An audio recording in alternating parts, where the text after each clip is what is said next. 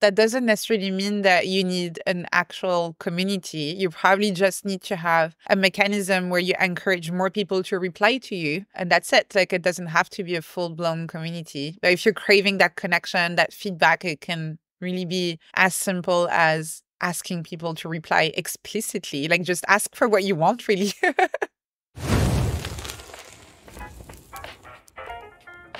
This week, I'm sharing part of my conversation with Anne-Laure, who is a neuroscientist, a writer, and an entrepreneur. Anne-Laure is the founder of Ness Labs, which is an online platform at the intersection of productivity, neuroscience, and mental health. Now, this is the second part of our conversation, so you're going to hear us talking about choosing authenticity over mimetic desires, and you'll actually hear Anne-Laure pointing out some of the traps that I've fallen into on my creative journey. We talk about embracing individuality as writers and as content creators. We talk about the work life balance as an entrepreneur and someone building a business. We talk about what it's like to build community and the extent to which we need to build connection through the work that we do. We also talk about overcoming self consciousness in the content that we put out and the work that we do, and the distinction between mindful productivity and toxic productivity. And finally, we talk about Anne-Laure's journey as a writer, going from writing primarily blog posts on her blog Ness Labs to now working on a book project and some of the nuances that she's encountered on that journey. So you can get the full show notes, the transcript, and read my newsletter at theknowledge.io. And you can find Anne on Twitter and Instagram at neuranne. Uh, we'll have all the links to her platforms in the show notes below. Now, if you love this episode, please do share it with a friend. And don't forget to leave a review wherever you listen to podcasts because it helps us tremendously to find other listeners just like you. How much of, obviously, you didn't manifest Ness Labs, but I wonder, like, as I look at your journey in building it, funnily enough, this goes back to what we were talking about before about the intentionality. There's a lot of it that perhaps in retrospect, or at least from an outsider's perspective, makes complete sense. It looked like you put a lot of thought into exactly how you were going to build this thing. Everything makes sense. It all fell into place quite well. I think, you know, you were building it. You had a certain number of subscribers within a few months. You started to get some sponsorship money. And because you'd put those building blocks in place in advance, by the time you started to hit more serious growth, I think by the second year, suddenly you're able to make, you know, over ten thousand pounds or so. And then from there, then you're able to start hiring people and then you build the community. But actually you didn't just wait and build the community. You already had some community elements from the beginning. So it's like, wow, you know, you did this so well. And I was comparing that to my own journey. Man, I think, okay, on one part, I wish I had the personality to build a community kind of thing because I'm not sure I do. Very often I like to like lock myself in my room and just focus on writing. But I do need to be, you know, more social in that respect. But I think that can be hard, like coordinating people, doing all of those things. But also from a business perspective and from a, a scaling perspective, one of the things that I've started to find difficult or strange, and I wonder if any of this resonates with you. It might not because you have the community element, but I'd be interested to know is so my growth wasn't necessarily linear. At the beginning, it was, linear, but kind of on a small scale. So the first year I was writing my newsletter, we had like 500 subscribers. And for clarity, this is also the retrospect part. There were definitely a few stages where I had no idea what this was about. Like when I first started it, I sent it to some friends and I was like, Hey, I'm just going to share with you the things that I'm learning. And, and that newsletter is still there. Like people can go read it. I just said, Hey, you know, here's what I'm going to be doing. And then the first 10 newsletters are all completely random. Like I'm just learning a bunch of different things and you just see me talking about completely random stuff. So in that first year, we grew to like 500 subscribers. And the next year, we just doubled. So went to 1000. And again, I'm trying to figure out, okay, what is this? Is this a platform? Now there's quite a few people. There's a lot of people. I think by the time we got to the end of that first year, I was trying to avoid paying extra because, you know, a lot of these email platforms, once you go past a thousand, the prices go up. So I was unsubscribing people quite a lot to try and stay under the, the 1000. And then the year after that, I think we got to maybe two, two and a half thousand. And then from there, that was the beginning of last year.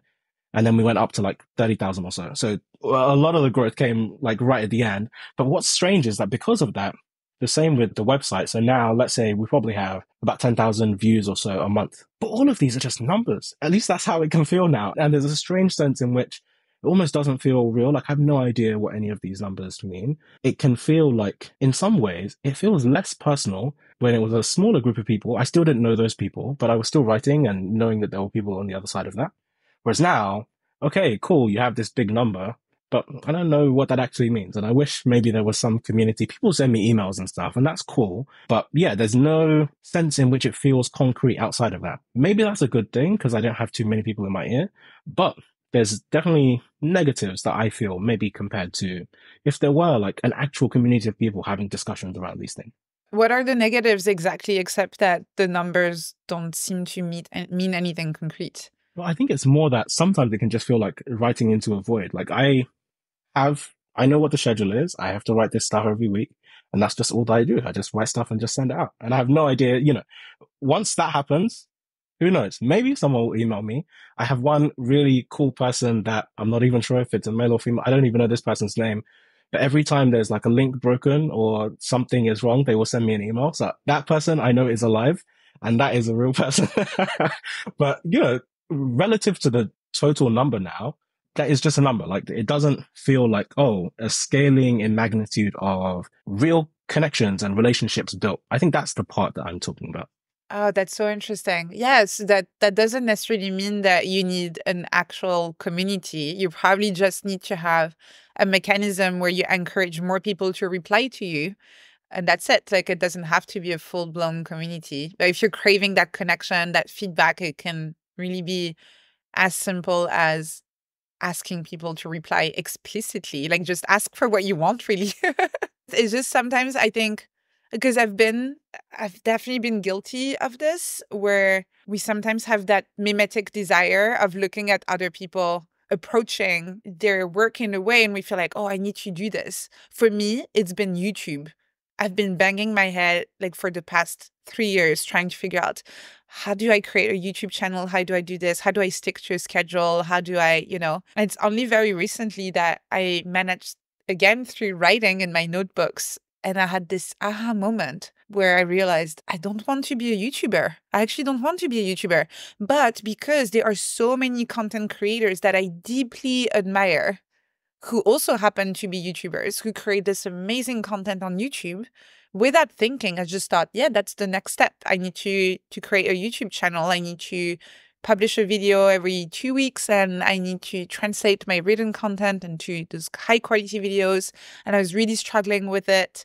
I really felt out of my comfort zone, not in a good way, in a way where I just really was dreading having to go and sit in front of the camera and record that content. I had to script everything. And then I realized, oh, I don't want to be a YouTuber. Wow. And that removed a really big weight off my shoulders. So that's why I'm suggesting for in your case, exploring other options because if you were you were saying, I don't know if I want a community. I actually kind of like just writing and doing my thing. And it's like maybe you don't need a community. Not everyone needs one.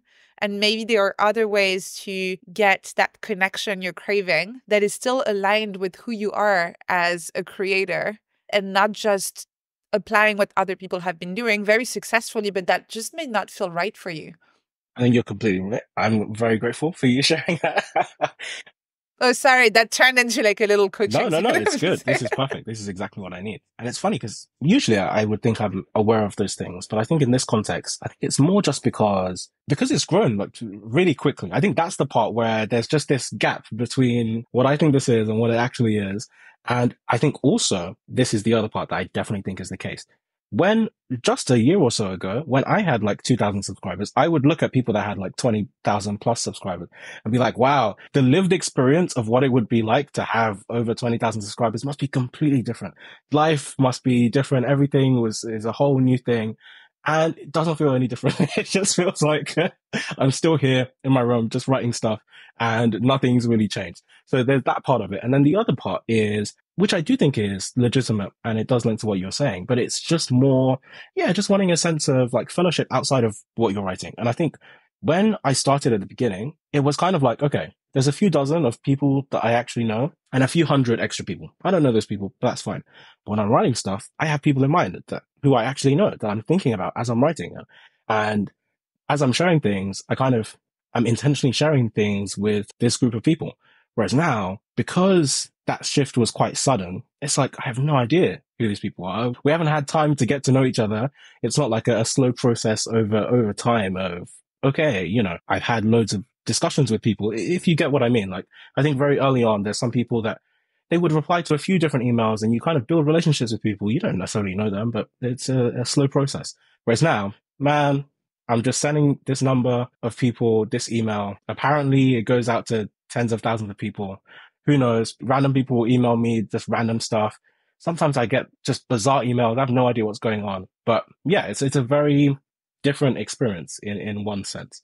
So as you have been building, I think you've also had some difficulties with scaling actually as well. I think you said you had one course that you did where suddenly hundreds of people show up and actually that's like a freak out moment where, okay, this is a bit too much.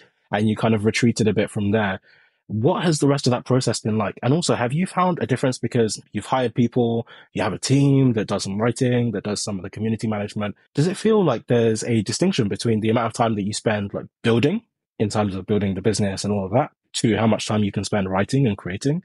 Does that feel like there's overlap in a positive way, or does it feel like, oh, these are distinct personality? It feels more like a pendulum for me, and I still haven't figured out the exact balance that works. But I can tell that there are some months where I feel like I'm spending too much time working on the business and I don't have the mental space to think strategically, to be creative, to have big ideas. And usually starts feeling not so good after a while. And so I try to make adjustments, and that can be working with my team to be a bit clearer about our objectives for the next couple of months. So I don't have to be there for every single tactical decision because we have a little bit of a roadmap for the next couple of months. Or sometimes it means hiring some help with things that I've been doing and I used to edit my own videos and then I hired someone who started helping me with this. For the community management, I used to do it all on my own and now I have someone absolutely amazing who's helping me with a lot of the day-to-day queries. So I can just show up for the online meetups that we have and I can teach some little courses in the community, but I'm doing the stuff that only me can do that only I can do and my community manager is helping with a lot of the day-to-day management. And other times I get so focused and engrossed into the creative process. And that has happened with writing the book that I'm working on at the moment, where I can also feel like, ooh, wait, I'm feeling a little bit disconnected from what's going on in the business right now. Actually, I have no idea. Are we doing okay? Is that is everyone happy? Are community members okay? And then I again I switched back that that focus and the pendulum goes the other way and then I try to be a bit more involved. I will talk to people. Maybe I'll run a couple of surveys with the newsletter and the community, just asking, hey, do you like the content? How are you feeling about the community? How are things? How is everyone doing? I will get back into it, but I'm not really good. I really admire people who are very good at sustaining this balance over a long time. For me, I've never managed to do this. So I know it's going to feel more like seasons.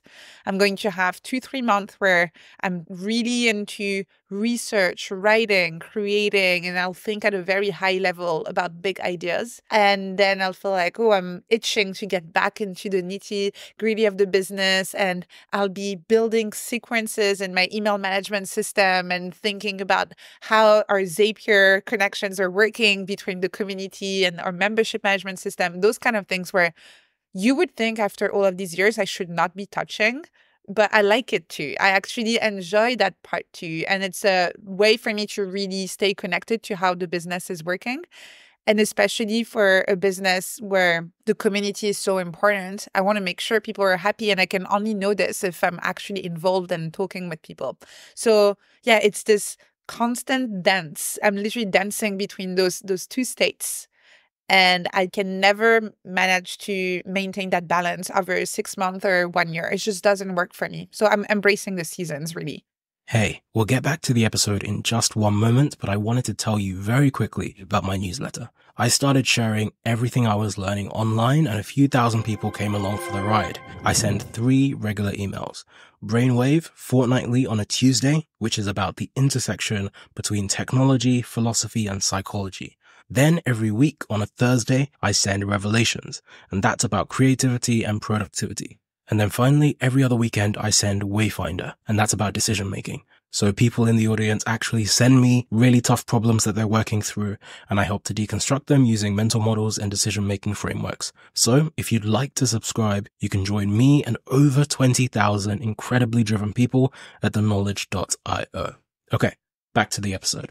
And you've written about mindful productivity. I would love to know how you apply that to some of these different projects. Okay, so I'm thinking specifically of you mentioned just before. So first of all, we were talking about our general writing practices and what that's like and the balance between whether it's journaling or actually intentionally trying to write stuff. And then also you talked about video recording. And I know that you recently challenged yourself to record, I think it was like 10 videos in 10 days or something like that, but just personal. And I saw some of them on Instagram, you just sharing random things.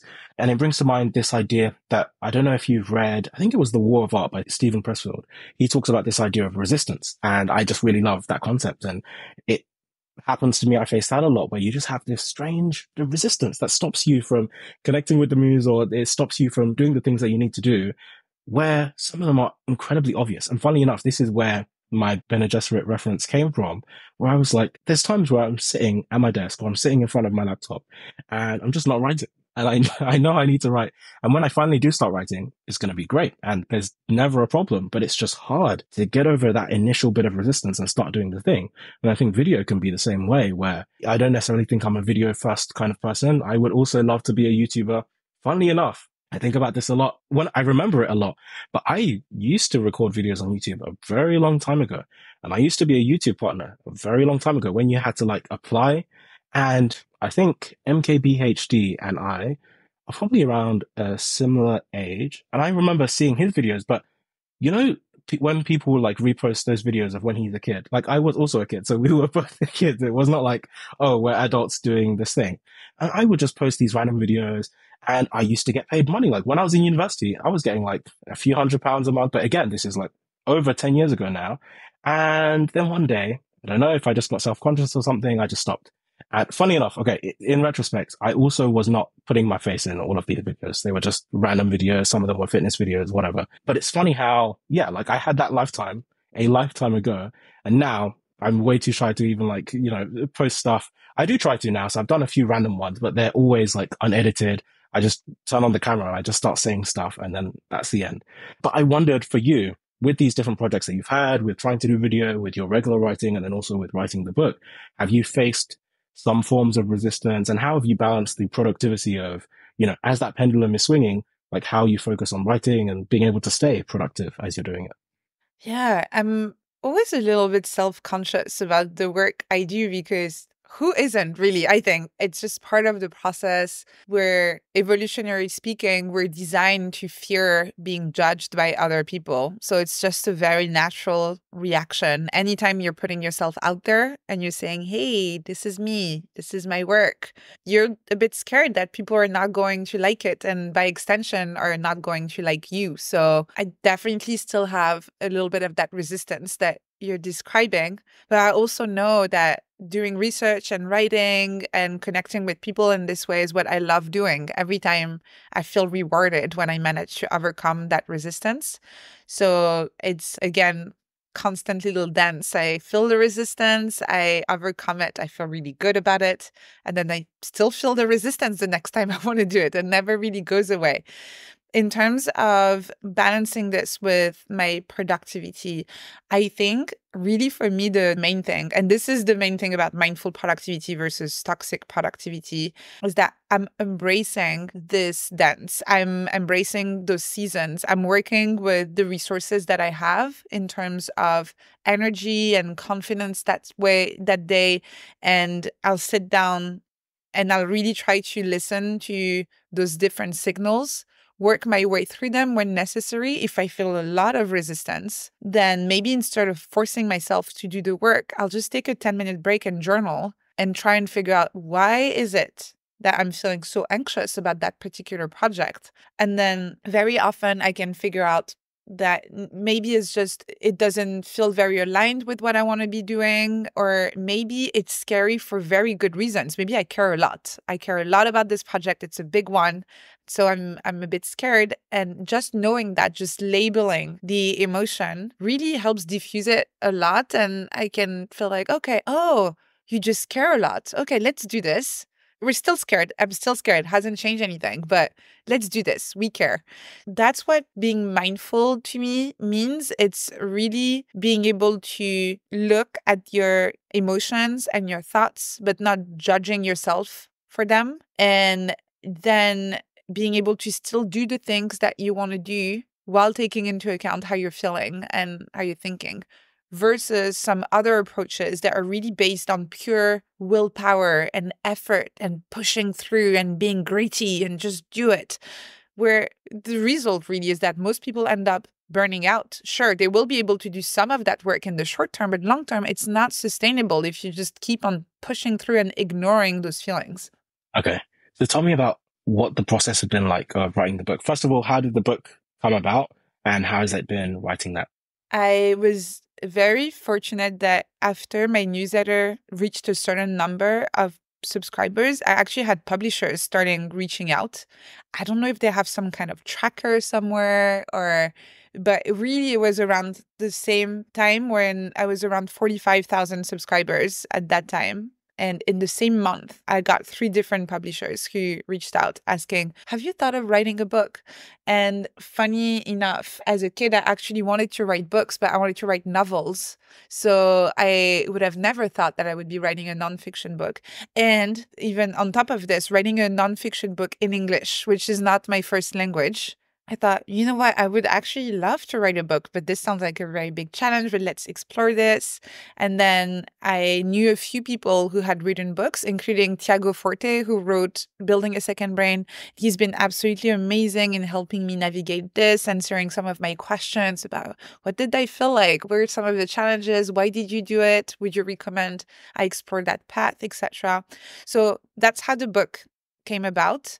I then put a book proposal together that which uh, several publishers liked. So it was really, really a great process. Very new, very anxiety inducing, to be honest, because it's very different from writing a newsletter.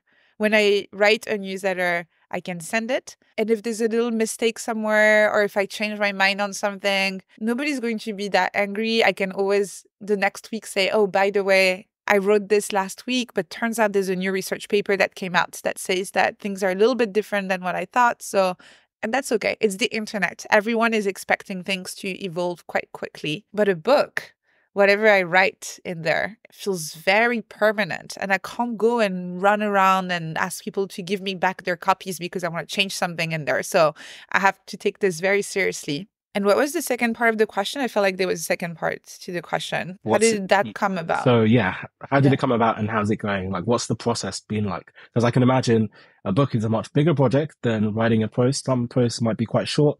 Maybe they're only 800 to 1000 words or so.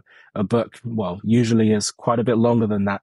So I was interested to know how you're finding that as well actually that has been the main challenge for me is going through writing those more short form self contained pieces of content.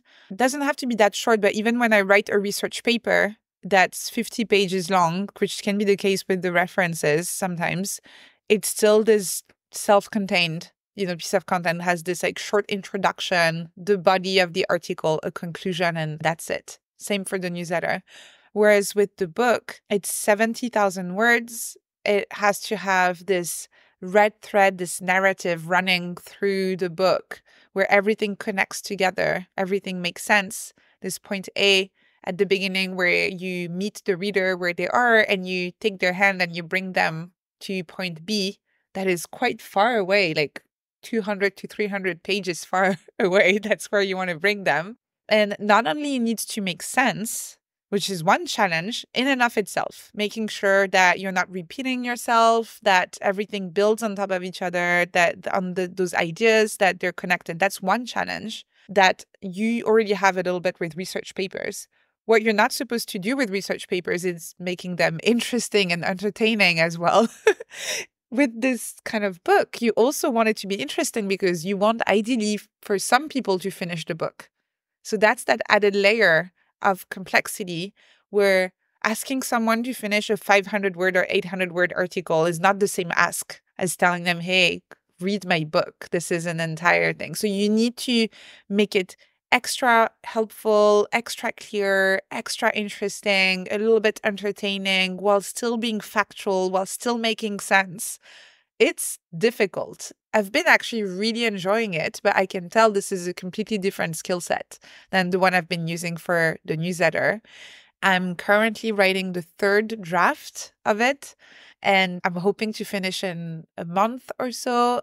And then I'm very much looking forward to discovering the next steps, which I've been trying not to worry about. I've been trying to take this step by step because everything is so new. But the next steps of choosing the title, designing the cover, building some sort of marketing campaign around it. How do you launch it? Do you announce it more in podcasts or do you partner with people who have newsletters? Do you do it on Instagram? All of this completely new to me, and I'll have to learn all of this on the spot. Exciting. I guess that's the, yes. the crinkle crankle career. Exactly. Yes. oh, one thread I didn't want to let go of is you mentioned you originally wanted to write fiction you said. What kind of fiction were you interested in writing? And have you still tried writing at all, any fiction uh, till now? Yeah, as a kid, I was, I really thought I would be either a novelist or a paleontologist. Those were the two careers I was considering. And I wrote a bunch of novels as a kid. I even sent them to publishers in France. Some of them came back to me with feedback. At the time, it was before you could email your manuscript. So I actually had she's amazing. The internet is amazing, really. I was maybe 15 or 16 and I was managing this online forum for young writers in France. And this anonymous person who was much older than me, like maybe in their 30s or something, had access to a printer at work and printed my manuscript for free for me at the time because I didn't have the money to print so many manuscripts and posted it for me to different publishers because they really liked my work and I was quite young, didn't have the money to send it. And I never really knew they had a, a, pseudonym on the forum, so never knew their name, never knew anything about them. They just said, "Hey, I'll cover this for you." And I know they did it because then I received replies from publishers with feedback. So I know they did it. So Thank you for reminding me of this story because I completely forgot about it until now.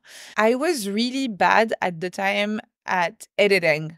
I loved writing the first draft and I really struggled with rewriting and rewriting and rewriting, which you're supposed to do. You're supposed to write maybe three, four, five, maybe 10 drafts before you have a good novel.